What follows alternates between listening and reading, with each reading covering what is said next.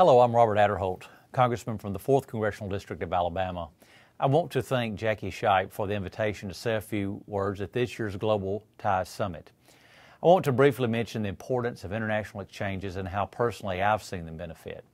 When people from other countries visit the United States in an exchange program, they engage in a process that can have a lasting impact on them as individuals and on the work they do back in their home countries. They learn about the American way of life by interacting with their host. For instance, many young people who visit the United States through the International Visitors Leadership Program of the State Department discover they have similar ambitions as our young people.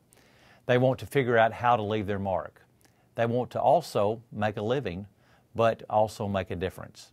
There are young people here today who already know this. They're already developing their leadership skills by acting as citizen diplomats. When international visitors come, you are setting an example of helping propel our country forward on the global stage. Also, when we get the opportunity to host these international visitors, something exciting happens. We bring people here. America is no longer just a place on a map. When friendships are made and experiences are shared, common ground is discovered. They learn what the real America is like.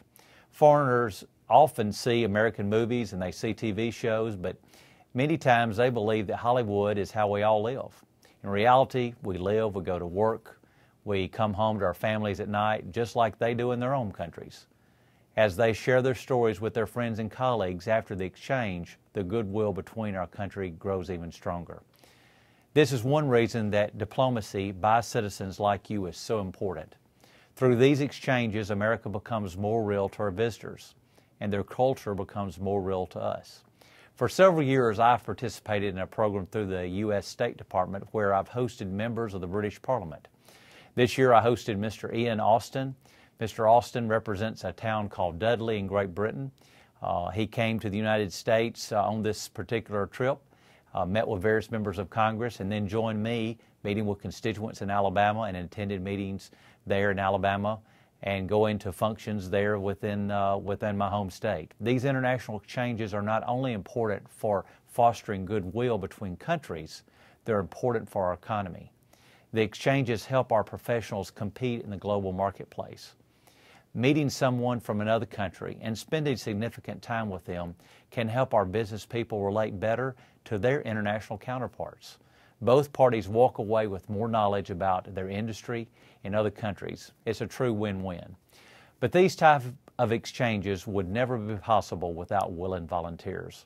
Like many of you, in fact, the spirit of volunteerism is one of the things that make America unique. Thank you for your generosity in giving your time, your energy, and even living space to facilitate America's friendship with other countries. Also, thank you, time to, thank you for taking time to attend this summit learning how to create relationships, building interest in your communities, and to solidify America's friendships with other countries. I appreciate you inviting me to address you for a couple of minutes. I wish you all the best in learning how to establish partnerships at this year's Global Ties Summit.